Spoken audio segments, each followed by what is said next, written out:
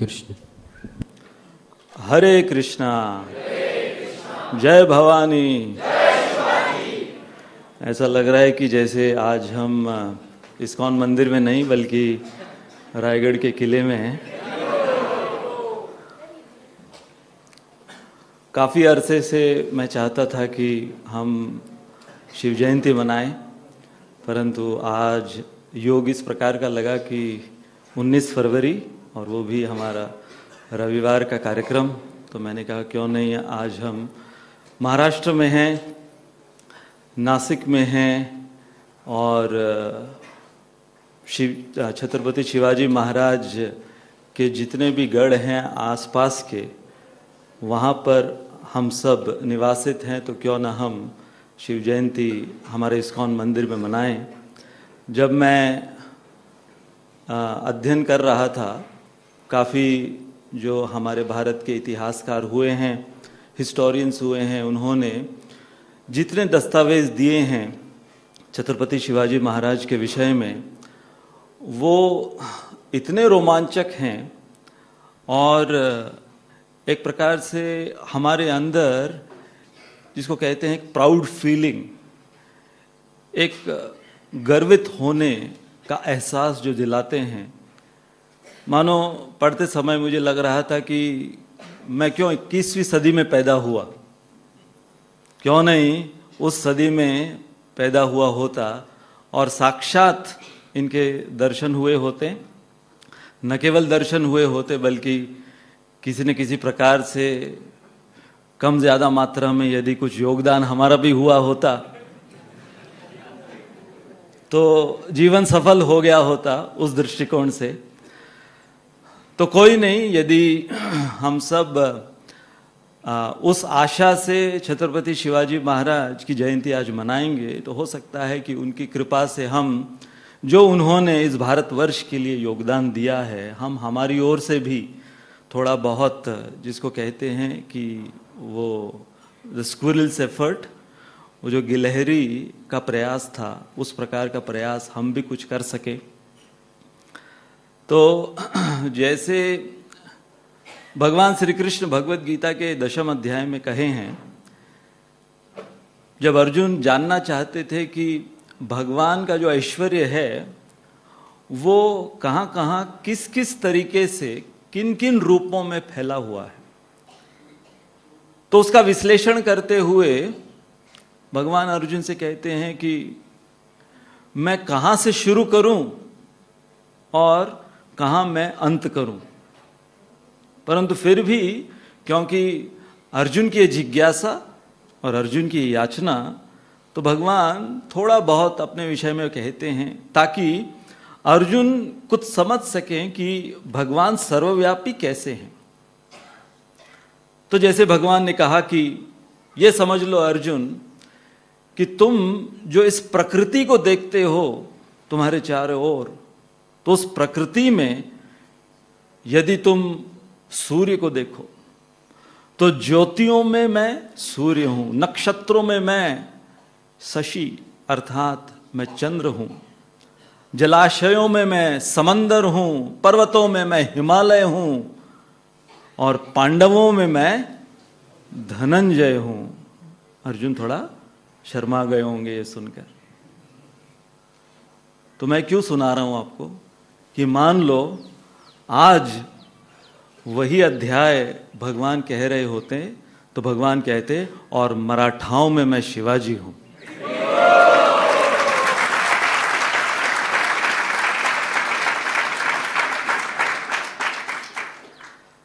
तो ऐसे शूरवीर, ऐसे दानवीर, ऐसे युद्धवीर, ऐसे धर्मवीर ऐसी ऐसी उपाधियाँ इनको दी गई हैं।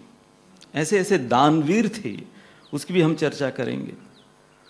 तो कोई दानवीर हो सकता है, परंतु उसके साथ साथ शूरवीर होना ये एक रेयर कॉम्बिनेशन है। तो वो दानवीर भी थे, जैसे कि बताया गया है कि औरंगज़ेब, उनकी भी चर्चा बहुत होने वाली है। तो औरंगज़ेब वो अपने सैनिकों को समय पर तनख्वाह भी नहीं देता था।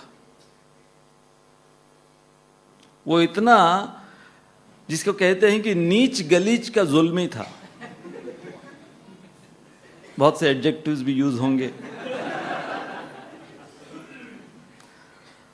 परंतु छत्रपति शिवाजी महाराज वो इतने बड़े छत्रपति हुए परंतु वो अपने हरेक सैनिक को समय पर, पहली तारीख पर उनकी तनख्वाह दिया करते थे। तो दानवीर, उसके साथ साथ शूरवीर। शूरवीर के साथ साथ युद्धवीर। शूरवीर का अर्थ होता है जिसके अंदर शौर्य है। हाँ करेज है, परंतु फिर युद्ध कौशल भी होना चाहिए। सिर्फ़ शौर्य होने से क्या होगा? तो फिर शूरवीर, युद्धवीर और उसके बाद सबसे महत्वपूर्ण धर्मवीर। तो ये जो कॉम्बिनेशन हम देखते हैं शिवराय के अंदर, वो इतना अद्भुत है। और वो क्यों अद्भुत? क्योंकि वो हाल ही में हम कह सकते हैं, जैसे शिल प्रभुपाद कहा करते थे चैतन्य महाप्रभु के विषय में जस्ट रिसेंटली तो हाल ही में छत्रपति शिवाजी महाराज और उनके जो वंशज हैं या जो उन, उनसे संबंधित स्थान हैं, वो सब जाकर हम देख सकते हैं। वो सारे जो इतिहास के पन्ने में लिखे गए हैं, इनके विषय में, उन सबको हम परख सकते हैं। तो ये इतने निकट हमारे, ये एक ऐसे योद्धा हुए, ऐसे एक शौर्यवान योद्धा हुए कि जिनको हम, जिनके विषय में जितना कहें उतना कम होगा। परंतु शुरुआत तो हर समय जो इनकी निर्माता। हम कहेंगे, देखिए ये शब्द मैं जब टाइप कर रहा था तो निर्माता में माता शब्द भी आता है। और निर्माता का अनुवाद किस प्रकार से हुआ है? एक अनुवाद निर्माता का है प्रोड्यूसर ये तो हमने बहुत सुना है। निर्माता, दिग्दर्शक। हाँ। तो हाँ, जीजा माता, वो उनकी प्रोड्यूसर और निर्माता का एक और अर्थ है मेकर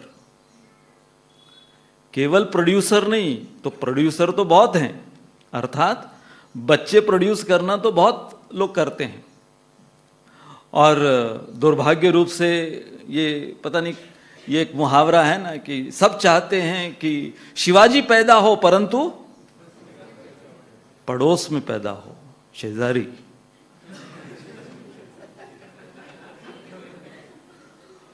तो शिवाजी पड़ोस में पैदा हो, हमारे घर पर पैदा ना हो, परंतु जीजा माता उन्होंने जो बचपन से इनको, जिनको कहेंगे इनकी ग्रूमिंग जो करी, और ये सब हम जानते हैं कि रामायण महाभारत। और रामायण महाभारत को एक तो इन्होंने सुनाया। अब हाँ बहुत सी माताएँ हैं जो धार्मिक हैं, हिंदू परिवारों में पैदा हुई हैं, जिन्होंने अपने बच्चों को बचपन में रामायण महाभारत सुनाई होगी। परंतु रामायण महाभारत को किस दृष्टिकोण से सुना, वो श्रेय भी जाता है शिवराय उनको। उस अवस्था में, छोटी सी आयु में, उन्होंने अब कहीं पर ये मेंशन नहीं है कि उन्होंने फिर कोई कोर्स लिया था कि भाई छत्रपति बनने का कोर्स लिया था कहीं जाकर। या धर्मवीर होने का कोई कोर्स लिया था? एक धार्मिक योद्धा होने का कोई कोर्स कहीं लिया था? ऐसा कुछ भी नहीं। परंतु जो कुछ उन्होंने बचपन में अपनी माता के श्रीमुख से सुना,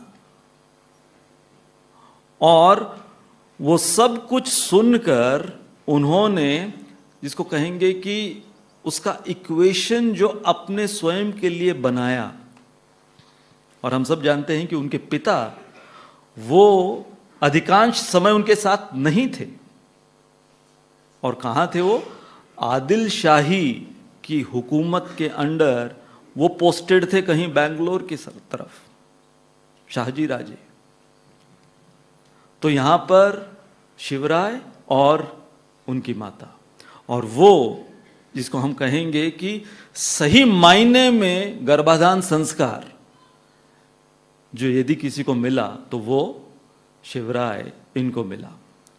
तो इनके कुछ आदर्श जो इन्होंने बचपन से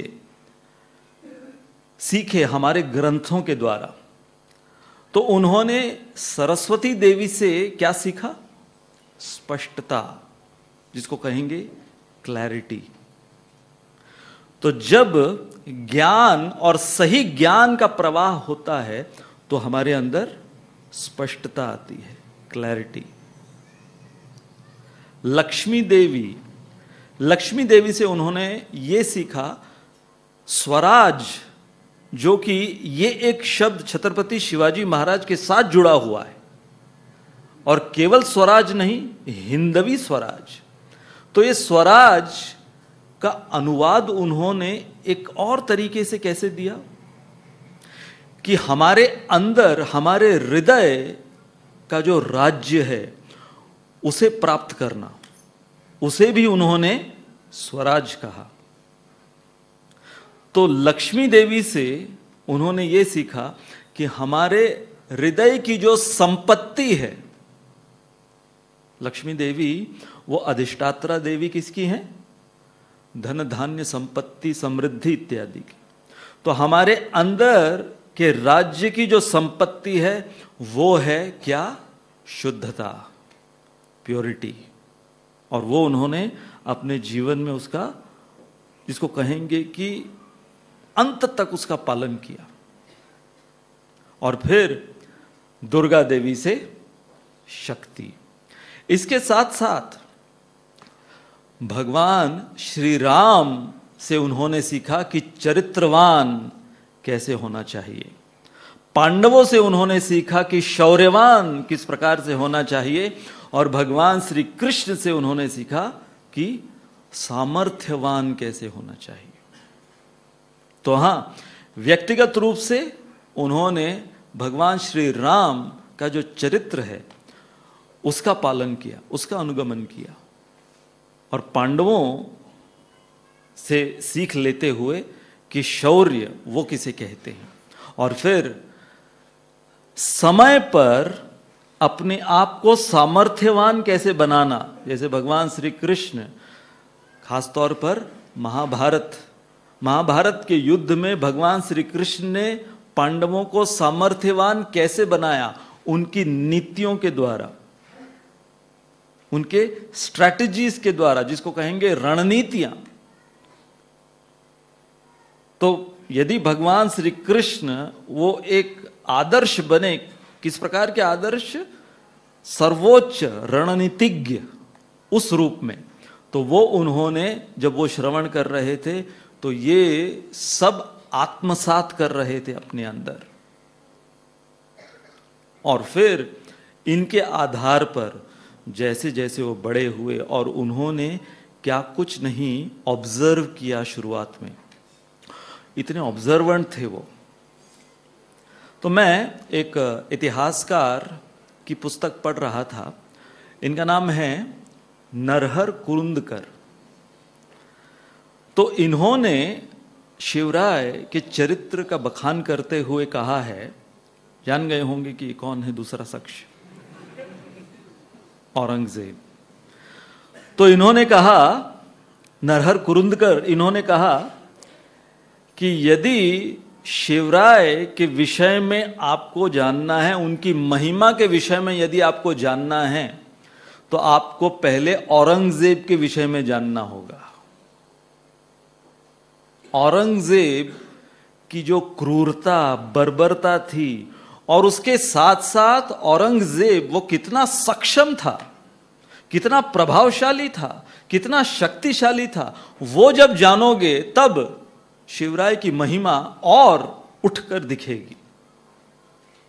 जैसे कि यदि नरसिंह भगवान की महिमा जाननी है तो पहले चैप्टर्स में हिरण्य हिरण्यकशिपु के विषय में बताया ना, वो तो लास्ट में आते हैं नरसिंह भगवान। पहले हिरण्य हिरण्यकशिपु का आतंक और हिरण्यकशिपु का प्रभाव, ये सब कुछ बताया गया। यदि प्रभु श्री राम की महिमा जाननी है तो रावण की बर्बरता, रावण की क्रूरता, ये तो जानना आवश्यक है। मैं इसके विषय में जब डिस्कस कर रहा था तो एक व्यक्ति ने कहा, यदि मिस्टर इंडिया की महिमा जाननी है तो मोगैम्बो को जानना होगा। मैंने कहा यह भी सही है। हम हम उस लेवल से आगे जा ही नहीं पा रहे।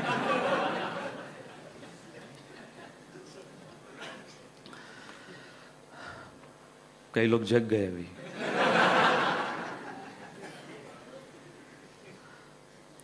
तो ये जो औरंगज़ेब, जो कि बादशाह बना पूरे मुगल सल्तनत का तो उस समय यदि हम शुरुआत करें अकबर से तो ये मुगल सल्तनत, ये भारत के ऊपर ये जो काबिज हुए, की जो शुरुआत हुई, और ये इस हद तक ये लोग फैलने लगे उत्तर भारत से जो इन्होंने शुरुआत करी, दिल्ली से। आपको जानकर अचंबा आश्चर्यचकित आप लोग हो जाएँगे कि उस समय 22 प्रांत इन्होंने अपने कब्जे में ले लिए थे। और आपको ये नंबर ज़्यादा नहीं लग रहा होगा, परंतु यदि आगे के फिगर्स आप जानोगे, उस समय तो इनका सिस्टम क्या था? एक है बादशाह। और बादशाह के अंडर होते थे मनसबदार। तो उत्तर भारत में उनको मनसबदार कहते थे और फिर नीचे दखन में आप आओ, ये जो ही शाही शुरुआत हुई, जैसे निज़ाम शाही, आदिल शाही, कुतुब शाही तो यहाँ पर इनको जागीरदार बोलते थे। तो ये क्या था? दूसरे तरीके में कहें तो ये बादशाह जो है, वो बस ऐशो आराम की ज़िंदगी जिएगा और ये मनसबदार जो हैं ये मतलब आर्मी को आउटसोर्स कर दिया है। तो ये टैक्स इकट्ठा करेंगे किन से? किसानों से। उस समय तो सब कुछ खेती उसी के ऊपर। तो किसानों से इत्यादि, यहाँ रोड टैक्स वगैरह, वो सब इकट्ठा कर कर ये आर्मीज को चलाएँगे किसके लिए? बादशाह के लिए। तो इनको ये मनसबदार, इनको अलग अलग प्रांत दिए हुए थे। और ऐसे कितने मनसबदार थे उस समय? अकबर के अंडर आठ हज़ार। आठ हज़ार मनसबदार। और इनकी कैवलरी में दो लाख से ज़्यादा सैन्य बल था। और धनराशि कितनी थी? उसका भी कैलकुलेशन किया हुआ है। उनके खजाने में 93,000 किलो गोल्ड वर्थ ये खजाना था। जिसको यदि कन्वर्ट किया जाए तो 3.5 मिलियन डॉलर्स आज के कन्वर्जन रेट पे। सोचिए उस जमाने में हम कौन सी सदी की बात कर रहे हैं? हम चौदवा, चौदहवीं सदवी पंद्रहवीं सदवी इसकी बात कर रहे हैं। तो 3.5 मिलियन डॉलर्स उसको अगर रुपीज़ में कन्वर्ट करें, कितना होगा? मेरे ख्याल से कुछ 30 करोड़ तक होगा। मेरे ख्याल से 25-30 करोड़ के आसपास कुछ होगा। तो ये मुगल सल्तनत की शुरुआत हमारे इस भारतवर्ष के ऊपर। और फिर यदि यहाँ पर आप देखें तो एक अकेले मराठा छत्रपति शिवाजी ने जो रंग बदला हाँ यहाँ पे आप देखिए।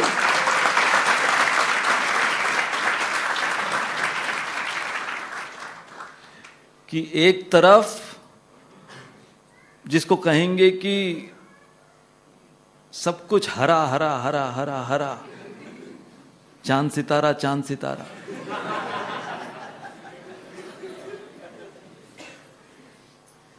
तो ये शिवराय इनका एक विजन था कि मुझे हिंदवी स्वराज चाहिए। सिर्फ़ स्वराज नहीं, मुझे हिंदवी स्वराज चाहिए। और हिंदवी स्वराज का अर्थ है ये भगवाकरण। स्पष्ट शब्दों में भगवाकरण। तो कई लोग शिवाजी महाराज को कहते नहीं नहीं, वो सेक्युलर थे। ये सब धारणाओं को हम बाहर रखें, फेंक कर आए, जहाँ से कभी वापस वो आ न सके, कि पूरा क्लियर उनका मोटिव था कि ये हिंदू राष्ट्र होना चाहिए। तो अब हम यदि शुरुआत करें कि ये जो दो थे, एक तरफ़ उत्तर भारत में, ये मुगल, और फिर आप नीचे आइए, औरंगाबाद से जो शुरू होती है फिर ये शाही, इनकी सल्तनत। तो इसमें आप लोगों ने सुना होगा, हमारे हिस्ट्री बुक्स में हमको सब ये बताया गया था कि निज़ाम शाही, आदिल शाही और कुतुब शाही। तो निज़ाम शाही ये कहाँ पर? महाराष्ट्र, इस एरिया में। आदिल शाही कर्नाटक, बीजापुर, उस एरिया में। और फिर कुतुब शाही ये हैदराबाद, आंध्र प्रदेश, उस एरिया में। तो अब प्रश्न ये है कि ये दोनों में अंतर क्यों था?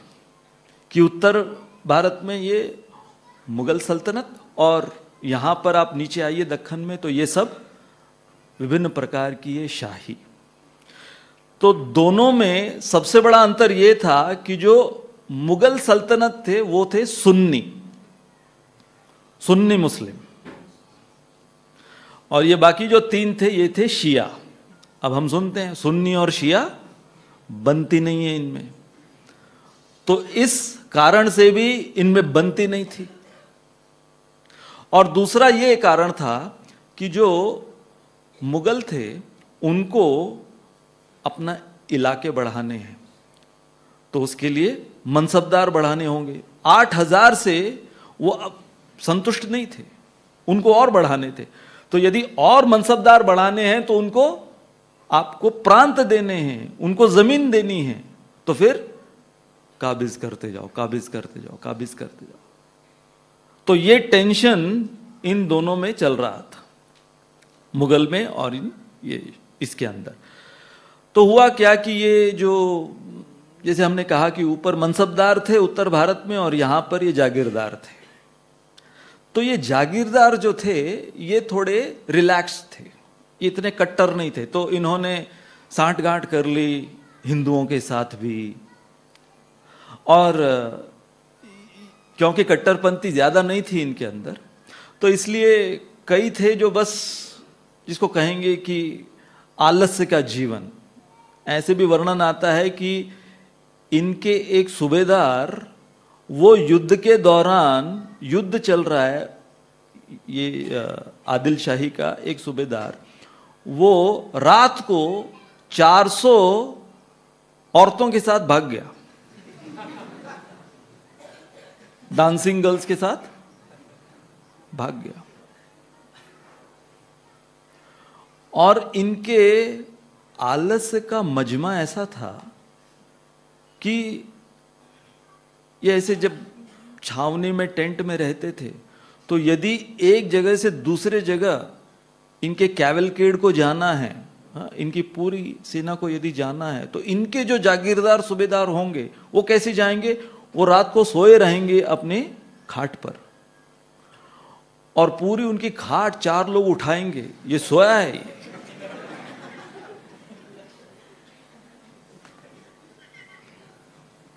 तो सोचिए, एक तरफ़ ऐसे आलसी टट्टू, और दूसरी तरफ़ छत्रपति शिवाजी महाराज जिनको ट्रेन कर रहे थे मराठाओं को, उनको हर एक प्रकार से जैसे हमने सुना, गनीमी कावा और गुरिल्ला वॉरफेयर ये सारे चीज़ों से तो वो एक अलग ही लेवल की ट्रेनिंग उनको दे रहे थे। तो ये सारी चीज़ें जो हो रही थी धीरे धीरे इन सबको शिवराय वो ऑब्ज़र्व कर रहे थे कि ये ठीक नहीं है। तो हमने जो बचपन में ये जो बहुत ही शेडी व्यक्ति है, शेडी व्यक्ति। और क्या बताया गया हमारे इतिहास के किताबों में? अकबर दी ग्रेट, परंतु ये अकबर द ग्रेट फ्रॉड था। ये क्या किया करता था? इसके जो सबॉर्डिनेट हैं, इनकी भाषा में उसको कहते हैं माले गनीमत माले गनीमत अर्थात इसके जो सबॉर्डिनेट हैं, उनको मार के उनकी पत्नियाँ अपने कब्जे में कर लेता था। उसको कहते क्या है? माले गनीमत कि ये सब अल्लाह का फरमान है, ये माले गनीमत है हमारे लिए। अभी कल ही मैं एक हमारे डिवोटी से बात कर रहा था। लंदन में रहते हैं ये। तो उनकी पत्नी वो आ, अपने बेटे को आ, उसके स्कूल फ्रेंड के घर पर छोड़ने गई। कुछ उनका आ, ये होता है वहाँ पर sleep over get together type. तो ये जो आ, उनके बेटे के जो फ्रेंड है वो मुस्लिम है। तो ये गई वहाँ पर अपने बेटे को उस मुस्लिम फैमिली में वहाँ पर ड्रॉप करने के लिए। तो एक 21 साल का लड़का बाहर आया। तो वो अपने पिता को बुलाता है। पिता है साठ साल का और कहता है कि is this one of your wives वो जो माता जी गई थी अपने बेटे को ड्रॉप करने के लिए। ये लंदन में लंदन में। आप समझ रहे हैं?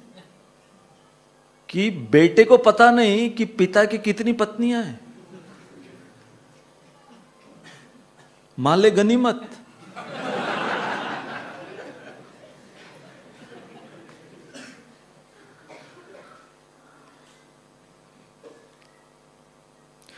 तो ये था Akbar the great fraud Akbar the आगे का वर्ड हमने ऐड किया है। जब तक हिस्ट्री बुक्स में हमको जो पढ़ा है, खाली ग्रेट तक बताया था, Akbar the great Akbar the great ये था अकबर। अच्छा फिर हम मूवीज़ देखे, सलीम अनारकली। आप जानते हैं सलीम कौन था? मुगल आज़म में हमने क्या ऐसी मेगा मूवी बनाई मुगल आज़म फिर अनारकली मूवी एक बनी। सलीम अनारकली का इश्क। परंतु ये सलीम, जो कि जिसका दूसरा नाम क्या आगे चल के? जहांगीर। जहांगीर और सलीम ये एक ही है। तो इसने अपने खुद के बेटे, जिसका नाम था खुशरो अपने खुद के बेटे को अंधा कर दिया। जीते जी, क्यों अंधा कर दिया? क्योंकि ये जो खुशरो था, ये अकबर का बहुत चहीता था। और सलीम और अकबर में बनती नहीं थी। तो क्योंकि सलीम और अकबर में बनती नहीं थी और अकबर को ये खुशरो बहुत पसंद था और ये बहुत काबिल था ये व्यक्ति। और आगे चलकर इसको गद्दी मिलने वाली है, इसलिए अंधा कर दिया। अंधा कर कर नमक का पानी डाल दिया। ये है अनारकली और सलीम की असली कहानी। मतलब इनके ऊपर हम इश्क के गाने बनाए। ये तो उसी उसी तरीके से हो गया, यदि कोई बॉलीवुड हिटलर के ऊपर रोमांटिक मूवी बना रहा है।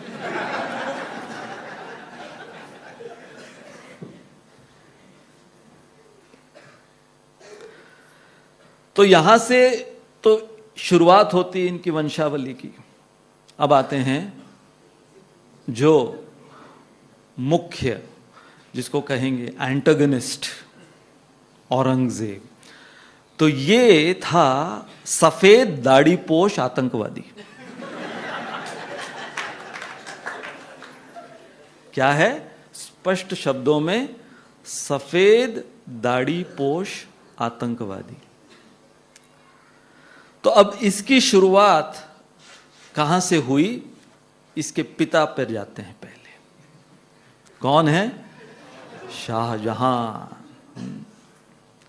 इसके हुए ये चार बेटे दारा शिको शाह शुजा औरंगज़ेब, जो कि तीसरे नंबर पर था, और फिर मुराद बख्श। तो अब मैं क्यों इनके विषय में भी बता रहा हूँ, भाइयों के विषय में, क्योंकि औरंगज़ेब इतना जुल्मी था कि उसने अपने भाइयों का किस प्रकार से खात्मा किया। और एक में उद्देश्य क्या था? मुझे बादशाह नहीं बना रहा मेरा बाप। बाप को भी बंदी बनाया। वो तो अलग कहानी है। शाहजहां को भी बंदी बना दिया। लेकिन अपने भाइयों को, अब इनमें आप लोगों ने सुना होगा अक्सर दारा शिको दारा शिको वो सबसे ज्येष्ठ तो शाहजहां ने तो पहले से अनाउंस कर दिया था कि नेक्स्ट बादशाह तो दारा शिको बनने वाला है। और दारा शिको ये बहुत ज़्यादा प्रभावित था हिंदू सनातन धर्म से।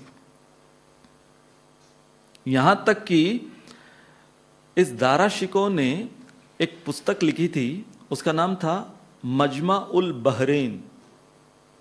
ये मजमा उल बहरेन क्या, किस प्रकार की पुस्तक थी कि दो समंदर, एक है सनातन और एक है इस्लाम। ये दो समंदर का समन्वय कैसे हो या कैसे हुआ है, इसके ऊपर पुस्तक लिखी मजमा उल बहरेन।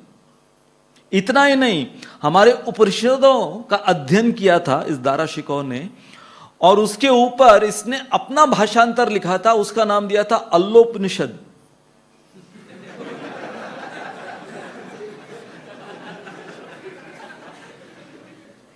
अब सोचिए कि यदि उस कौम का कोई व्यक्ति ये सब कुछ कर रहा है, और वो भी औरंगज़ेब के समय, उसके सामने।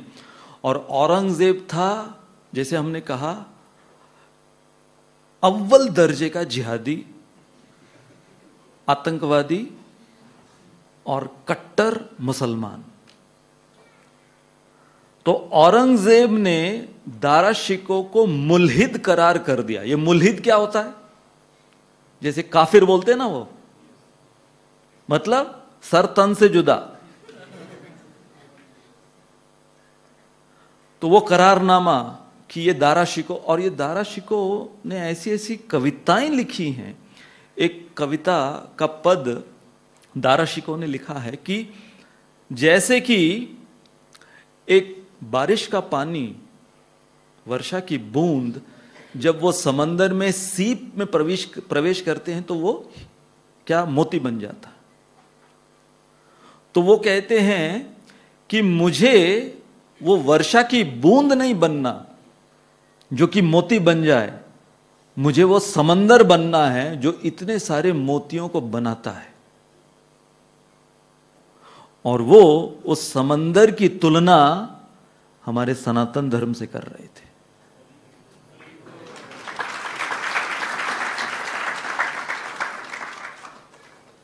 तो सोचिए, इस दारा शिको को यदि शाहजहां बादशाह बनाने जाने वाले हैं तो औरंगज़ेब वो उसका खून खोलेगा कि नहीं? तो औरंगज़ेब ने क्या किया? औरंगज़ेब ने मुराद बख्श को पकड़ा। कौन सा वाला है? छोटा भाई। है मुराद बख्श को पकड़ा और क्या है देख, ये जो सबसे बड़ा है तो मुलहिद बन गया, ये तो काफिर बन गया, ये किसी काम का नहीं, इसको हम दोनों मिलके खत्म करेंगे।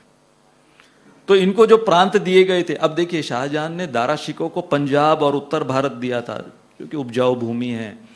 शाह शुजा ये अव्वल दर्जे का व्यभिचारी व्यक्ति था, वुमनाइजर था तो इसको बंगाल फेंक दिया था। अच्छा उस समय ये मुगलों में ऐसा था, जैसे शाइस्त खान को भी बंगाल फेंक दिया था, औरंगज़ेब ने। तो ये बंगाल क्यों फेंक देते थे? जैसे होता है ना, आजकल गवर्नमेंट में, यदि कोई ठीक से काम नहीं करता है तो गढ़ चिरोली भेज देते हैं। तो उस समय का गढ़चिरोली मतलब बंगाल।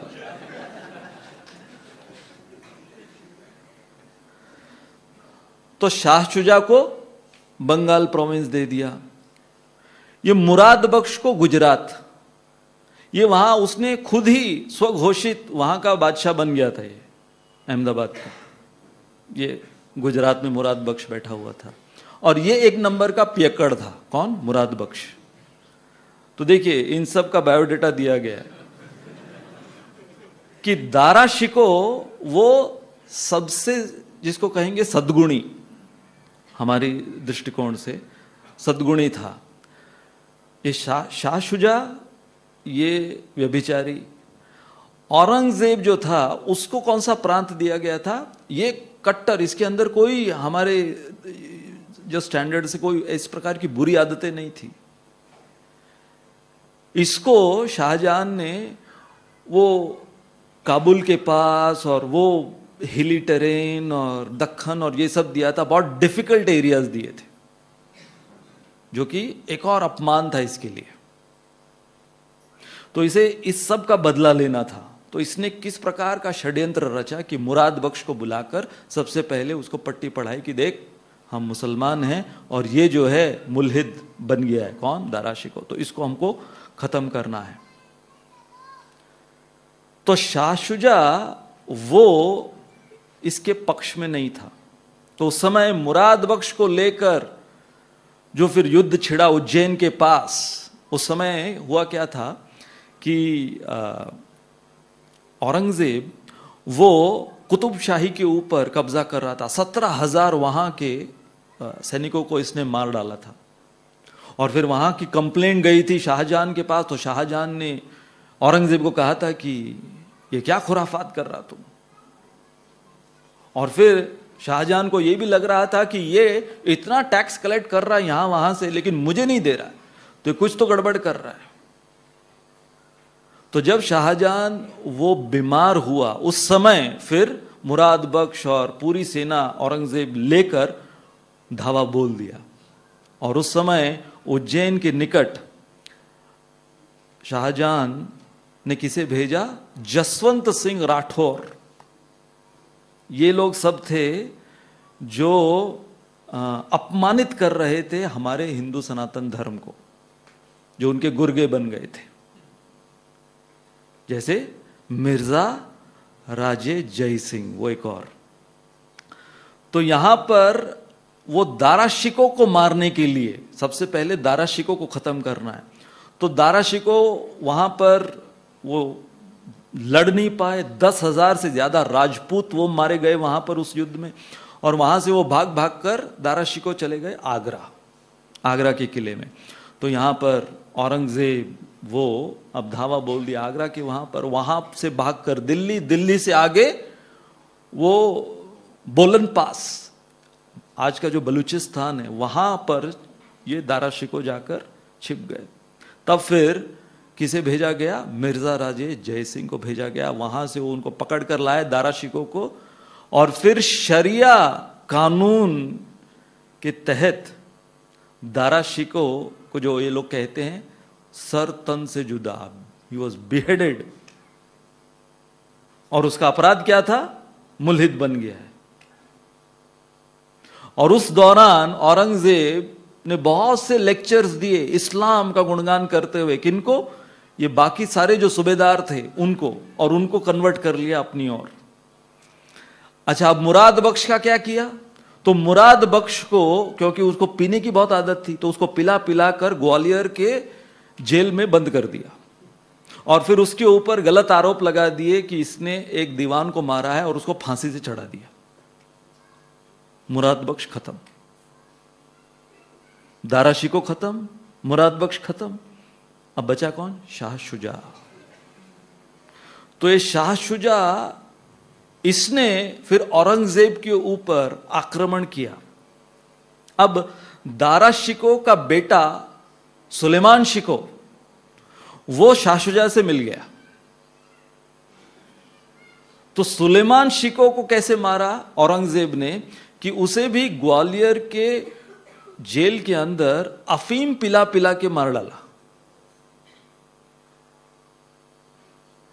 और वर्णन आता है कि ये शाह शुजा ने इसमें आपको समझ में आएगा कि औरंगज़ेब ये एक बहुत प्रगत योद्धा भी था।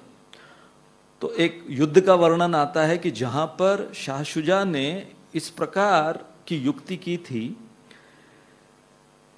कि ये क्या करते थे? बड़े बड़े विकराल हाथियों को अफीम पिला देते थे। और उनके सूंड पर चेन से लोहे के गोले और लोहे के गोलों के ऊपर कील।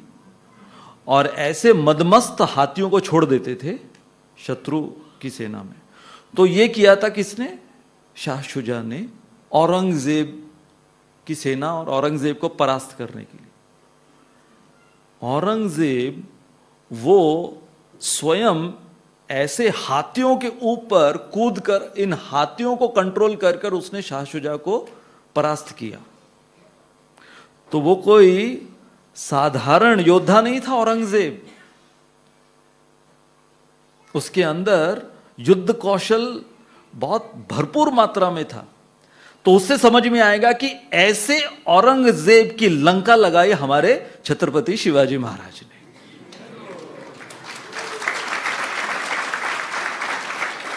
तो ये ये ये ये सारा परिपेक्ष आपको मैं क्यों बता रहा हूँ? क्योंकि बिना हिरण्यकशिपु के नरसिंह भगवान का गुणगान नहीं हो सकता।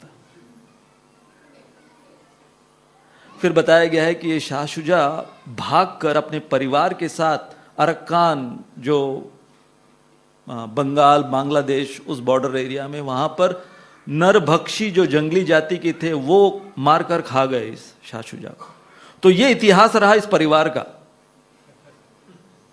ये देखिए, ये इतिहास रहा इस परिवार का। तो एक लाइन में ये जो परिवार अकबर से लेकर ये शाहजहां, जहांगीर और फिर ये औरंगज़ेब और इसके सारे भाई। तो ये क्या क्या करते थे कि दो चीज़ आपस में एक दूसरे के लिए करते थे। या तो तख्त मिलेगा या कब्र। बस ये दो डेस्टिनेशन है। इसके बीच में कुछ नहीं। एक दूसरे को मार काट कर कर या तो तख्त काबिज कर लो। यदि नहीं कर सकते तो तुम्हारे लिए कब्र खोद दी जाएगी। तो इस दौरान शिवराय, इनकी चुनौतियाँ क्या थी? सबसे पहले तो इनके पिता, उनकी अनुपस्थिति। क्योंकि आदिल शाही के सल्तनत में थे तो इसलिए आदिल शाही ने इन आदिल शाही उन्होंने इसको, इनको भेज दिया था बंगलोर के वहाँ पर, पास। वहाँ पर विजयनगर साम्राज्य जो था वो धीरे धीरे वो वीक हो रहा था। तो वहाँ से जो कुछ वो कब्जा कर सके। तो वो नहीं थे। फिर इसके बाद एक एंटी भोंसले लॉबी वो शुरू हो गई थी। और वो क्या थी लॉबी? अफजल खान जो था, जो कि आदिल शाह का बहुत ही विश्वासु गुर्गा था। तो ये अफजल खान ये बहुत ईर्ष्या करता था शाहजी राजे से क्यों ईर्ष्या करता था? क्योंकि ये एक रसोइये का पुत्र था। ये अफजल खान, ये कोई बहुत शाही परिवार से नहीं था। ये रसोइये परिवार से था। तो इसलिए स्वयं इसके ही, बाकी के मुसलमान इसको बोलते थे तो रसोइये का बेटा है। तो वो भी हर समय वो बात चुपती थी उसको। और उसके साथ साथ शाहजी राजे उनको एक के बाद एक एक के बाद एक, ऐसे ऐसे प्रोजेक्ट्स दिए जा रहे थे। तो फिर ये एक एंटी भोसले और छत्रपति शिवाजी भी उनके पुत्र तो ये एंटी भोसले लॉबी चालू हो रही थी वहाँ पर। फिर चुनौती थी कि शिवराय, उन्होंने देखा कि जितने वहाँ पर हज़ारों एकड़ में जो भूमि है किसानों की वो सब बंजर पड़ी हुई है। तो फिर पैसा कहाँ से आएगा? और ये बंजर भूमि एक आ, उन लोगों की उस समय की धारणा थी। ये बताया गया था कि इन्होंने आ, इन भूमि के ऊपर जब जोतना शुरू किया तो गधों के साथ जोतना शुरू किया। तो क्योंकि गधों के साथ ये भूमि जोती गई इसलिए ये भूमि कर्स्ट लैंड बन गया। ये हज़ारों एकड़ की भूमि। तो समय जो उनके एक मेंटोर थे, दादाजी कोंड दे तो उन्होंने इन किसानों को कहा कि यदि आप सोने के हल से जोतोगे इन्हीं बंजर भूमि को तो फिर ये उपजाऊ बन जाएँगी। तो उन्होंने वो किया और फिर ये भूमि धीरे धीरे जो बंजर हो चुकी थी, ये धीरे धीरे भूमि उपजाऊ होने लगी और फिर शिवाजी महाराज ने इन किसानों को क्या कहा? शिवाजी महाराज इन किसान किसानों से कहते थे कि देखो साल भर आप खेती कीजिए, परंतु जो चार महीने, चातुर्मास की जो चार महीने जहाँ पर आप खेती नहीं कर सकते, उस समय मैं आपको युद्ध की ट्रेनिंग दूँगा। आप योद्धा बन जाओ। यहाँ से आर्मी शुरू करी, सोचो कि पार्ट टाइम किसान पार्ट टाइम योद्धा। और लड़ना किससे है? ये मुगल सल्तनत और ये जो आदिल शाही इनसे, इन सबसे लड़ना है। तो ये एक चुनौती उनके पास थी। तो धन एवं सैन्य शक्ति का अभाव था। और फिर आदिल शाही हुकूमत एवं तथाकथित हिंदू, ये बताया गया है कि वो जो जावली वैली थी, वहाँ पर मोरेज रहते थे। तो शिवाजी महाराज ने उन्हें पत्र लिखा था कि, अरे, आप मुझे ज्वाइन करो, हम सब इनके ऊपर आदिल शाह आदिल शाही जो है, इनके ऊपर हम कब्जा कर लेंगे। तो जो मोरे थे, उन्होंने शिवाजी महाराज से कहा कि, भाई, तुम कौन हो? Who are you an upstart और तुम जानते भी हो किसके विषय में तुम बोल रहे हो? तो ये इन्होंने भी शिवाजी महाराज का साथ नहीं दिया। परंतु फिर भी इसके बावजूद शिवराय उनकी जो उपलब्धियाँ एक एक कर कर और वो भी कौन सी उम्र में? जब वो केवल 14-15 साल के थे, वहाँ से उनकी उपलब्धियाँ प्रारंभ हुई। तो सबसे पहला जो अटैक उन्होंने किया 1656 फरवरी में, वो था जावली जावली वैली का। और उसी दौरान औरंगज़ेब ने कुतुबशाही के ऊपर अटैक किया था। तो वो उन्होंने जीता और ये था जो सबसे पहली जीत, ये पुरंदर किला उन्होंने काबिज किया, जहाँ पर आदिल शाह, उसने जब देखा कि भाई ये शाहजी राजे का बेटा और ये इस प्रकार से उधम मचा रहा है तो उसने एक हज़ार सैनिक भेजे, एक हज़ार सैनिक को परास्त कर कर वो जीत गए कौन सा? पुरंदर फोर्ट। और फिर आदिल शाह ने जब शाहजी राजे को पूछा कि भाई ये तुम्हारा बेटा क्या कर रहा है तो उन्होंने क्या जवाब दिया? भाई वो मेरे कंट्रोल में नहीं है।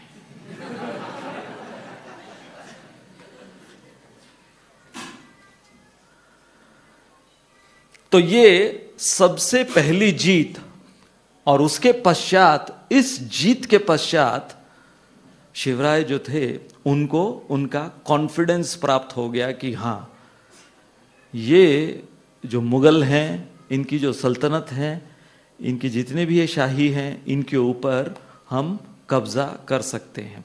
उसके पश्चात जो हमने कहा कि प्रतापगढ़, ये उन्होंने हासिल किया।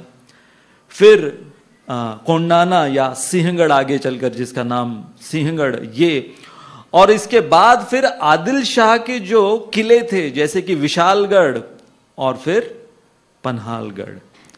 तो ये सब एक एक कर कर ये सारे गढ़ शिवाजी महाराज धीरे धीरे धीरे धीरे धीरे धीरे जीतते गए। और जब इन्होंने आदिल शाह के ये विशालगढ़, पन्हालगढ़ ये सब जीत लिए, तब फिर सुर्खियों में वो आए।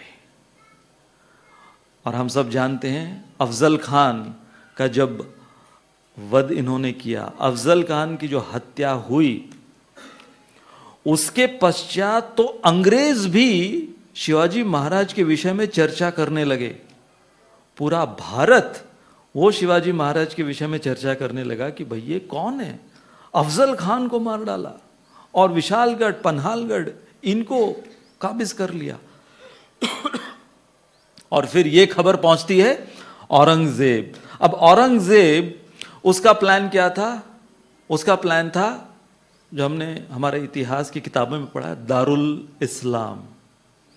कि एक था दारुल इस्लाम और एक था दारुल हर्ब। तो उसके अनुसार जितने इस्लामिक स्टेट्स बनेंगे, वो दारुल इस्लाम इस्लाम के अंडर जो रहेंगे, शरिया लॉ के अंडर जो रहेंगे, उसे कहा जाएगा दारुल इस्लाम। और जो इसके बाहर है, जो अभी तक हमारे इस्लामिक स्टेट नहीं बने हैं, इस्लामी हुकूमत के अंडर नहीं है, उसको उस समय उन्होंने अपने बलबूते पर, जिसको कहेंगे ना कि सन ऑफ़ द सॉइल वो जीते उन्होंने। कितने? तेईस और बारह, उनके पैंतीस किले थे उस समय। उसमें से, पैंतीस में से तेईस किले उन्होंने दिए। तो आगे चलकर भी कई लोग ये आरोप लगाते हैं कई तो छोड़िए हमारे पहले प्रधानमंत्री भारत के। उन्होंने आरोप क्या लगाया था कि लुटेरे थे। सूरत को लूटा, है ना? सूरत को लूटा इसलिए लुटेरे थे। शिवाजी वॉज़ अ प्लंडरर ये आरोप लगाया गया उनके ऊपर। परंतु उसके विषय में शिवाजी महाराज छोड़िए, उस समय जो डच जो राजनेता थे, उन्होंने शिवाजी महाराज के विषय में कहा, जो सूरत को उन्होंने लूटा, वो लूट नहीं थी। तो ये जो डच लोग थे, ये शिवाजी महाराज के साथ वार्तालाप किए थे। और इन्होंने शिवाजी महाराज को पूछा था कि भाई ये तुम जैसा राजा ये ऐसे लूटपाट कैसे किया सूरत में जाकर? तो शिवाजी महाराज ने किया, शिवाजी महाराज ने क्या कहा? शिवाजी महाराज ने इन डच मुखिया से कहा कि सूरत नुकसान भरपाई था। क्या था? लूट नहीं थी वो। नुकसान भरपाई। क्या नुकसान भरपाई? तो शिवाजी महाराज ने टर्म यूज़ किया कि मैंने बादशाह के दाढ़ी में आग लगाई। कौन बादशाह? औरंगज़ेब।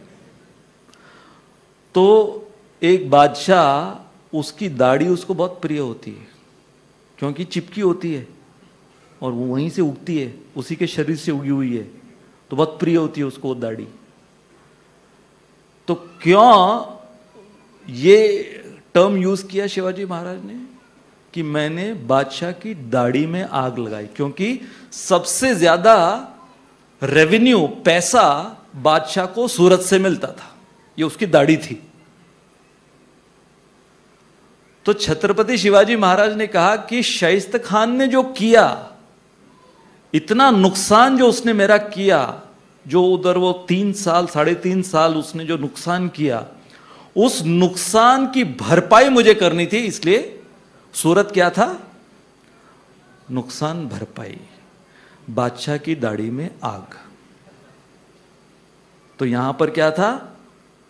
वाकणार नहीं, कि वो झुके नहीं, उन्होंने दिमाग लगाकर जो बोलते ना हिट वेर इट हर्ट्स वो उन्होंने किया। और फिर हम सब जानते हैं कि हमारे इंडियन नेवी, के यदि कोई फादर हुए तो वो हुए छत्रपति शिवाजी महाराज। ये एक ऐसी उपलब्धि उनकी। अब देखिए उस समय आ, जो रेवेन्यू जनरेशन वो किस प्रकार से होता था? लीगल ये बाकी जो मुसलमान वो तो इलीगली लूटपाट करते थे वो अलग। तो शिवाजी महाराज तो उसमें जाने नहीं वाले थे। तो लीगली आप आपकी सेना के लिए धन कहाँ से कैसे इकट्ठा करोगे? तो तीन तरीके थे।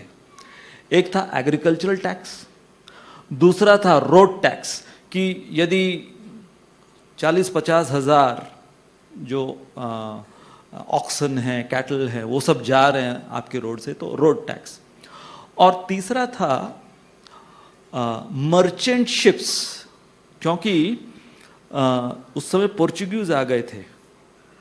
तो ये जो पुर्तगी थे ये लोग क्या करते थे कि ये लोग जितने भी इस एरिया के कोंकण एरिया के स्पाइसेस थे बहुत फ़ेमस स्पाइसेस थे।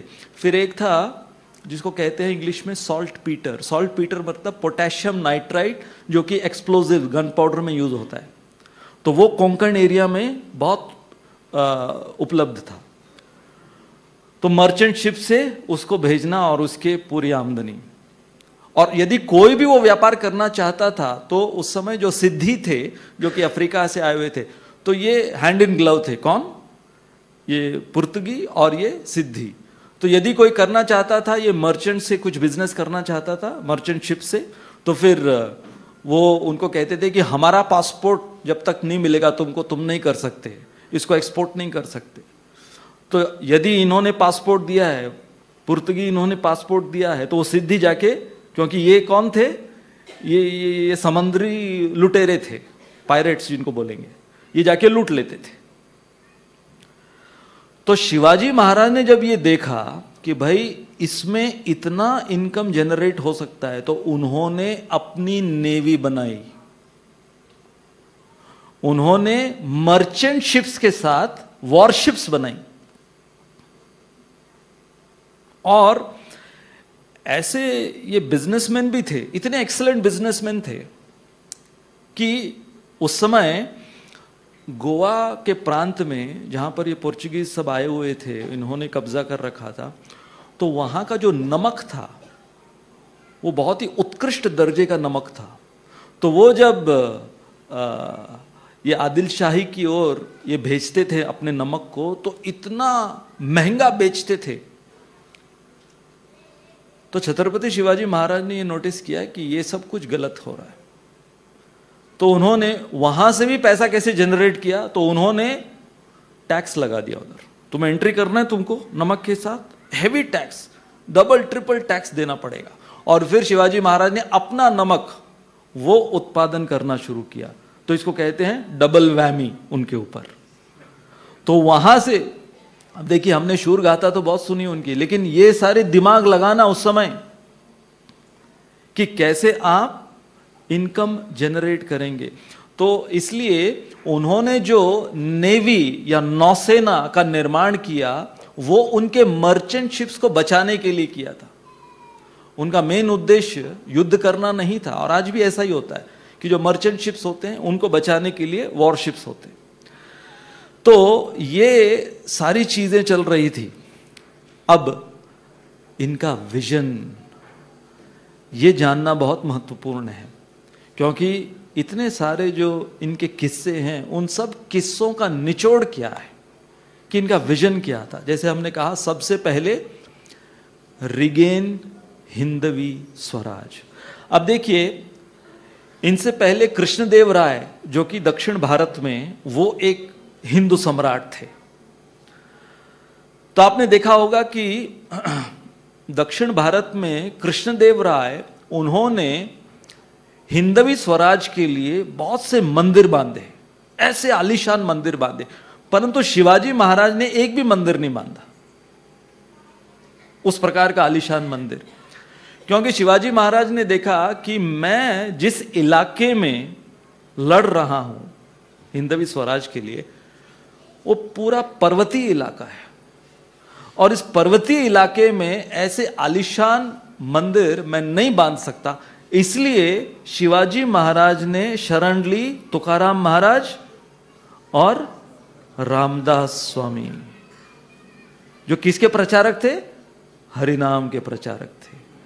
तो उन्होंने, देखिए, बहुत बुद्धिमत्ता से इनकी शरण ली ताकि हरिनाम के प्रचार के द्वारा ये हिंदू धर्म ये प्रस्थापित हो। तो ये डिफरेंस था शिवाजी महाराज और कृष्णदेव राय इनमें।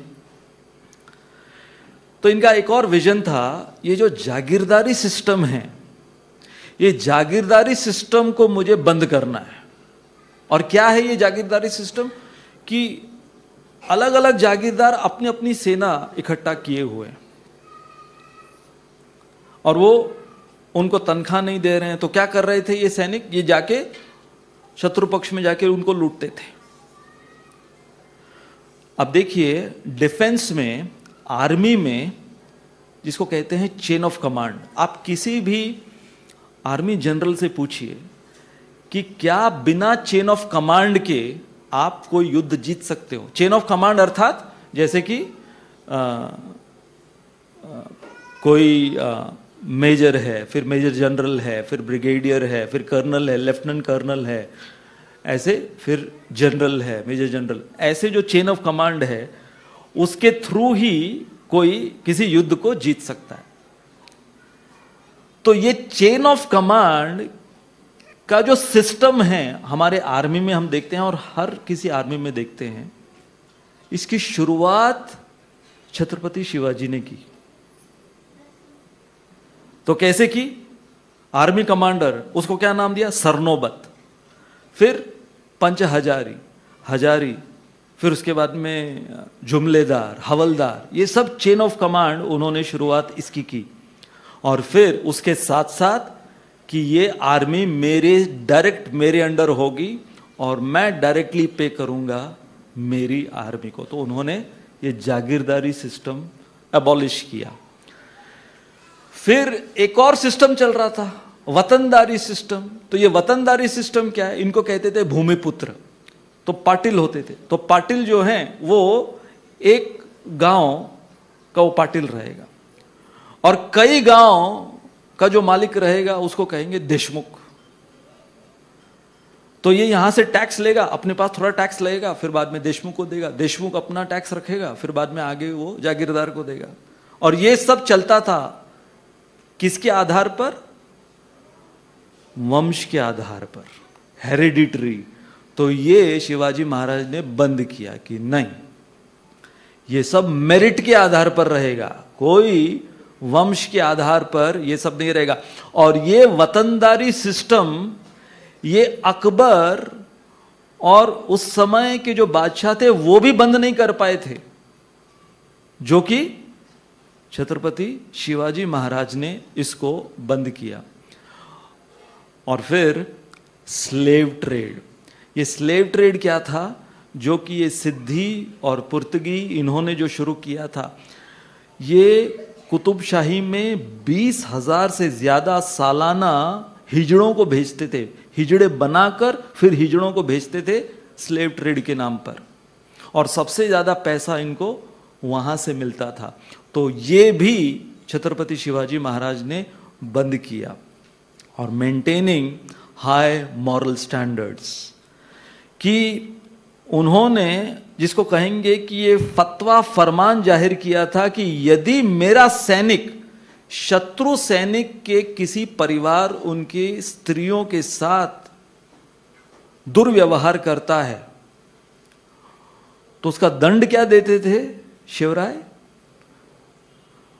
रायगढ़ किले पर एक टकमक टोक है। वहाँ से फेंकना उसको नीचे। Sentence to death respect for women ये मेंटेनिंग हाई मॉरल स्टैंडर्ड्स तो आ, इसके कनेक्शन में एक बहुत ही स्वीट किस्सा है। पता नहीं आप लोगों में से कितनों ने ये किस्सा सुना है। तो ये जो शख्स, इनका नाम लाइजी कोली पाटिल। तो उस समय एक ऐसा किला था जो कि शिवाजी महाराज ने 108 बार ट्राई किया जीतने का, और वो था जंजीरा। और ये कहाँ पर है? अभी जो एरिया है अलीबाग के पास मुरुड़ उस एरिया में। और ये किला बना था, किसने बनाया था? जो सिद्धि अफ्रीका से आए थे, उन्होंने बनाया था 1100 सदी में। और ये ऐसा किला था, इसकी जो दीवारें थी, वो इतनी ऊँची थी जैसे मानो चार मंजिले। अभी किसी बिल्डिंग के चार स्टोरीज जो होते हैं, इतने तो केवल इस किले की दीवारें थी। तो इतनी बार प्रयास किया था, लेकिन इसके ऊपर कब्जा नहीं पा सके थे शिवराय। तो फिर इन्होंने ये एक व्यक्ति को ढूंढा, जो कि उसी एरिया का, इसका नाम था ये लाइजी कोड़ी पाटिल। और जैसे शिवराय के विषय में कहा गया है कि वो पहाड़ी चूहे थे, कि पता ही नहीं चलता था कि कहाँ से गए, कहाँ से निकले। तो उसी प्रकार से ये जो लाइजी कोड़ी पाटिल, ये समुद्री चूहा था। तो समंदर के विषय में मतलब जिसको कहते हैं बैक ऑफ़ इस पाम इसको सब कुछ पता था। तो इसे नियुक्त किया था। इसको क्या करना था? इसको केवल एक ही कार्य करना था कि इसे जाकर ये जो जंजीरा का किला है, इसके ऊपर सीढ़ियाँ रखनी है जाकर। ताकि पीछे से जो इनके, इनका सैन्य बल आए, वो सीढ़ी से चढ़कर अंदर जाकर फिर प्रहार करे। तो रात में जाकर किले के ऊपर और इतना ऊँचा किला, जैसे मैंने कहा, चार मंजिला, इतने ऊँचे उसकी दीवारें, वहाँ पर सीढ़ियाँ रखनी। बस इतना ही काम, सीढ़ियाँ रखकर तुम निकल जाओ, तुम्हारा आगे कोई काम नहीं। तो लायजी कोड़ी पाटिल, उन्होंने रात में, और देखिए, ये सिद्धि जो थे, ये इतने क्रूर थे कि यदि कोई इनका स्वयं का व्यक्ति भी गद्दार निकलता तो उसको बोरी में बांधकर समंदर में ऐसे ही फेंका करते थे ये लोग। बहुत क्रूर थे। ये सब जानते थे, इसलिए कोई फटकता भी नहीं था उस किले के आसपास। तो सोचिए, ऐसे क्रूर सिद्धि से लोहा लेना। तो यहाँ पर ये लाइजी कोड़ी पाटिल जाते हैं, और ये रात में सीढ़ियाँ लगा देते अब हम आप होते, सीढ़ियाँ लगाकर निकल लेते, भाई, मुझे इतना ही बताया गया था। लेकिन वो रुके, वहाँ पर रुके, क्योंकि उनको भी देखना था। क्या देखना था? कि इस किले के ऊपर भगवा ध्वज देखना था उनको। इसके लिए वो रुके थे। वो रुके, एक घंटा, दो घंटा, रात बीती जा रही है, ये आए नहीं। इनकी जो मुहिम थी, वो कैंसल हो गई। लेकिन उस समय समाचार कैसे दिया जाए? तो जब इनको पता चला कि अरे, सूर्योदय होने वाला ये नहीं आ रहे हैं तो शायद इनकी मुहिम कैंसिल हो गई है। तो लायजी कोड़ी पाटिल गए, फिर से वो सीढ़ियाँ उतारी उन्होंने, जो कि ज़रूरत नहीं थी। वो सीढ़ियों को वापस निकालने की ज़रूरत नहीं थी। उन्होंने वो सीढ़ियाँ निकाली। और सुबह हुआ तो जैसे पहले था, वैसे ही किसी को कुछ पता नहीं चला कि रात में यहाँ पर क्या हुआ है। जब शिवराय, छत्रपति शिवाजी महाराज को यह पता चला तो उन्होंने तुरंत इस लायजी कोड़ी पाटिल को रायगढ़ बुलाया। अब ये एकदम सादा सुदा वहाँ का, गाँव का रहने वाला वो डर गया। मैंने कुछ गड़बड़ किया लगता है। कभी देखा नहीं छत्रपति शिवाजी को, रायगढ़ भी नहीं देखा है। सुना बहुत है कि इतने बड़े छत्रपति हैं, महाराज है, मुझे बुलाया तो डरते हुए वो गए। और वहाँ पर जाने के बाद उनको एक विशेष कक्ष में रखा गया, जैसे होता ना स्पेशल गेस्ट हाउस विशेष गेस्ट हाउस में रखा गया। और वहाँ पर उनका सत्कार हुआ उस गेस्ट हाउस में और फिर उनको पाँच लोग आकर ब्रीफिंग दिए कि महाराज के सामने कैसे पेश आना है। इतने सिंपल, जैसे सुदामा जा रहे हैं, द्वारकाधीश से मिलने, उस प्रकार से। सो महाराज के सामने कैसे पेश आना है? ब्रीफिंग दिया गया। तो वो दिन आया छत्रपति शिवाजी महाराज के सामने, छत्रपति शिवाजी महाराज इतने प्रसन्न हुए, गुणगान करने लगे तो जो इनके अंदर डर था, वो डर चला गया। तो बोले, अरे, लेकिन मैंने तो कुछ किया ही नहीं। तो छत्रपति शिवाजी महाराज, उन्होंने कहा कि तुमने जो किया है, वो इतना सराहनीय है। यदि तुम वो सीढ़ियाँ छोड़ देते उधर, वो उतारते नहीं तो क्या होता? सुबह वो सिद्धि, वो सब देखते और वो देखने से उनको पता चल जाता कि यहाँ पर किसी ने प्रयास किया है भेदने का, हमारे किले को भेदने का। तो उन्हें पता चल जाता कि ये एक तरीका है और वो सीढ़ियाँ निकालने के वजह से अब उनको कभी पता नहीं चलेगा कि हमारी योजना क्या थी? तो तुमने बहुत बड़ा योगदान अपना दिया है। हालाँकि वहाँ पर आ, कोई सफलता प्राप्त नहीं हुई थी। कोई ऐसे बहुत ऐसा नहीं था कि प्रोजेक्ट वाइज उनको कुछ हासिल हुआ था वहाँ पर।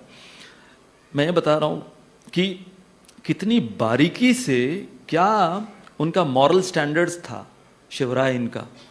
तो उन्होंने कहा, क्योंकि इस प्रकार का योगदान सेवा तुमने मेरी की है तो मैं तुम्हें इनाम के तौर पर और उस समय क्या होता था कि इनाम के तौर पर वो पालकी देते थे। और पालकी ढोने वालों के साथ, जैसे आज के भाषा में अगर कहें तो शोफर ड्रिवन कार। तो पालकी भेंट में तुम्हें मैं देना चाहता हूँ। मतलब बहुत ये एक ऑनरेबल जिसको कहेंगे कि गिफ्ट प्राप्त हो रहा है महाराज से। तो अब देखिए, छत्रपति शिवाजी महाराज हैं, उनके सारे सेनापति, सैन्य, मंत्रीगण, ये सब हैं वहाँ पर उपस्थित उनके दरबार में। और ये लायजी कोड़ी पाटिल, वो शिवाजी महाराज से कहते हैं कि ये क्या गिफ्ट आप दे रहे हैं? मेरे क्या काम का ये गिफ्ट? तो सब लोग देख रहे हैं कि ये, ये इसका क्या दुस्साहस है? महाराज गिफ्ट दे रहे हैं और ये क्वेश्चन कर रहा है गिफ्ट के ऊपर। तो इन्होंने कहा कि ये मेरे ये जो आप गिफ्ट दे रहे हैं ये पालकी और ये पालकी के साथ ये पालकी ढोने वाले ये मेरे किस काम का? तो शिवाजी महाराज ने पूछा मतलब? अरे मैं मैं तो समंदर में रहने वाला ये पालकी समंदर में किस काम की मेरी? पॉइंट था। तो शिवाजी महाराज वो हंसने लगे और उन्होंने अपना हाथ अपने माथे के ऊपर लगाया और बोला कि अरे मैंने कितनी बड़ी गलती की, मैं जानना चाहिए था कि ये तो समंदर में रहने वाला व्यक्ति है।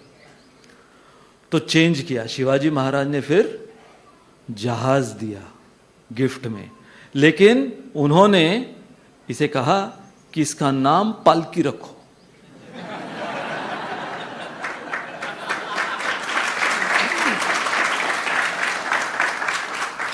तो जहाज़ गिफ्ट में दिया और नाम पालकी। आज भी जो लायजी कोड़ी पाटिल के जो वंशज हैं अलीबाग के निकट, उनके अभी तो बहुत जहाज़ बन गए हैं बड़े बड़े जहाज़। परंतु आज भी वो उसका नाम क्या रखते हैं? पालकी। क्योंकि छत्रपति शिवाजी महाराज का गिफ्ट था इस लायजी कोड़ी पाटिल को। तो इसलिए जब स्वराज्य की हम बात करते हैं तो उस स्वराज्य के साथ एक और महत्वपूर्ण शब्द हमें समझना आवश्यक है, वो है सुराज्य। तो स्वराज्य के बाद हमें उसे सुराज्य बनाना है। जैसे जब प्लासी का युद्ध हुआ था तो प्लासी के युद्ध में एक अंग्रेज़ था, रॉबर्ट क्लाइव। तो रॉबर्ट क्लाइव वो उस समय बंगाल में कौन था? बादशाह सिराजुद्दौला। तो उसे परास्त किया था। रॉबर्ट क्लाइव के पास केवल पाँच हज़ार सैन्य बल था और इस सिराजुद्दौला के पास एक लाख सैन्य बल था। फिर भी यह पराजित हुआ। और पराजित होने के बाद रॉबर्ट क्लाइव उसी प्लासी के गाँव क्षेत्र में जा रहा है, अपने विजय पताका को लेकर तो वो लिखता है रॉबर्ट लाइव कि मुझे आश्चर्य इस बात का हुआ कि जिस प्रांत को मैंने जीता, उस प्रांत के लोग वहाँ पर, यदि एक व्यक्ति भी एक एक पत्थर उठा के मुझे मारता ना तो मेरी पूरी सेना वहीं पे ध्वस्त हो जाती। लेकिन किसी ने रॉबर्ट लाइव के ऊपर कोई प्रहार नहीं किया, बल्कि धन्यवाद दिया। क्यों? क्योंकि वो इतने परेशान हो गए थे। किससे? सिराजुद्दौला से। अर्थात कि स्वराज्य यदि हमें मिल भी जाए, परंतु वो सुराज्य नहीं है तो वो गले का फंदा बन जाता है। जैसे वो कश्मीर फाइल्स मूवी के अंदर एक बहुत अच्छा डायलॉग था। वो जो कम्युनिस्ट टीचर थी, उसने जो डायलॉग कहा था कि सत्ता उनकी होगी, परंतु सिस्टम हमारा है। ये बहुत ही पावरफुल स्टेटमेंट है ये। इसलिए जब रावण का वध किया था भगवान ने, उसके बाद विभीषण को कहा कि केवल सत्ता का स्थानांतरण हुआ है। सिस्टम अभी तक रावण का है। तो यदि तुम्हें लंका को अयोध्या में परिणित करना है तो रावण के सिस्टम बदलने होंगे। तो इसलिए टेक होम मैसेज ये आप ध्यान से इन चार लाइनों को पढ़िएगा और फिर मैं इसका अनुवाद भी करता हूँ कि शिवाजी महाराज ने जो अथक प्रयास किए हैं हमें स्वराज्य और सुराज्य देते हुए तो अब हमारा उत्तरदायित्व क्या है? ये take home message hard times build hard man hard man bring soft times soft times make soft man soft man bring hard times समझ गए आप कि जब परिस्थितियाँ मुश्किल होती हैं तो मुश्किल परिस्थितियों में सशक्त आदमी बनते हैं। जैसे कि छत्रपति शिवाजी के समय जो चुनौतियाँ हमने देखी वो चुनौतियों ने उनको सशक्त बनाया। Hard times make hard man और ऐसे जो सशक्त होते हैं, जब वो आते हैं तो उनके आने के वजह से फिर हमारा जीवन आसान हो जाता है। सॉफ्ट टाइम्स परंतु जब जीवन आसान हो जाता है तो फिर हम भी वो जो जागीरदार, सूबेदार थे, खाट के ऊपर से पड़े पड़े इधर उधर जा रहे हैं, वैसे बन जाते हैं सॉफ्ट टाइम्स और फिर होता क्या है, ये जो श्रृंखला है हार्ड टाइम्स तो एक ब्रिटिश अंग्रेज़, जिसका नाम था जेम्स डगलस तो ये जेम्स डगलस ये रायगढ़ विज़िट करता है। और इसने, इस जेम्स डगलस ने रायगढ़ फोर्ट, अब ये मैं आपको बता रहा हूँ, छत्रपति शिवाजी महाराज के गुजर जाने के बाद, जब अभी संभाजी राजे वो छत्रपति बन गए हैं तो एक टर्म था उस समय, उसको कहते थे श्री शिल्लक। श्री शिल्लक मतलब कि छत्रपति शिवाजी महाराज ने, जिसको कहेंगे कि धरोहर के रूप में वो क्या छोड़कर गए? तो ये जेम्स डगलस रिसर्च करता है और ये कहता है कि मैंने आज दिन तक ऐसा राजा, ऐसा सम्राट नहीं देखा जिसका इतना दूरदर्शी विजन विजन था फार साइटेडनेस कि जैसे हमने कहा कि उन्होंने तेईस किले दिए समझौते में क्या पुरंदर पीस ट्रीटी में तेईस किले दिए, लेकिन वो जो आगरा से वो एस्केप होकर वापस आए, उसके बाद उन्होंने 360 किले जीते फिर से शिवाजी महाराज ने। वो तेईस तो छोड़ दीजिए 360 किले। ये कैसे पता है? जब आप चेस खेल रहे हो तो बहुत ही जो प्रवीण चेस प्लेयर है, वो प्यादे को एनिमी स्क्वायर के एंड तक ले जाता है और वज़ीर को ज़िंदा करता है। ये किया छत्रपति शिवाजी महाराज ने। कि अपने प्यादे को एनिमी स्क्वायर तक, एंड तक ले जाकर अपने वज़ीर को ज़िंदा किया। तेईस किले दिए, लेकिन 360 जाने से पहले जीते। तो ये जेम्स डगलस लिखता है कि शिवराय, उन्होंने क्या किया? उनका विजन देखिए। 360 किले और सैन्य बल कितना? दो लाख। दो लाख सैन्य बल छोड़कर गए। और आप विश्वास नहीं करेंगे, उन्होंने धनराशि कितनी छोड़ी? उस समय नाइन क्रोर्स, नौ कोटि धनराशि छोड़ी। और इतना ही नहीं, उसके साथ अस्त्र, शस्त्र, वस्त्र किराना मूल्यवान धातु, ये सब रायगढ़ किले में वो छोड़कर गए।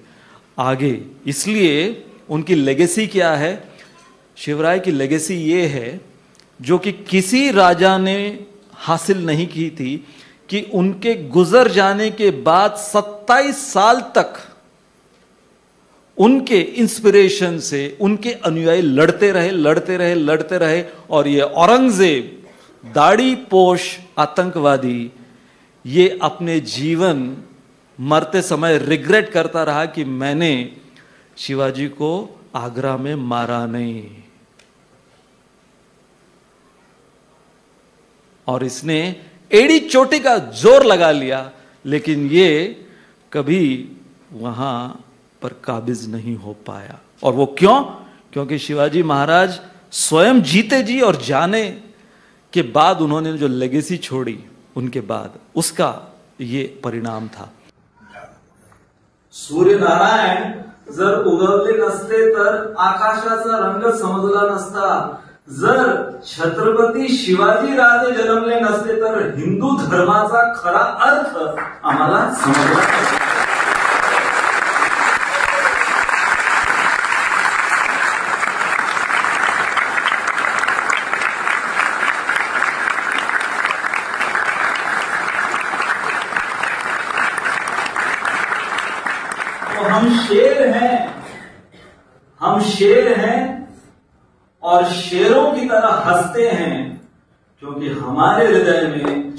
छत्रपति शिवाजी महाराज बसते हैं।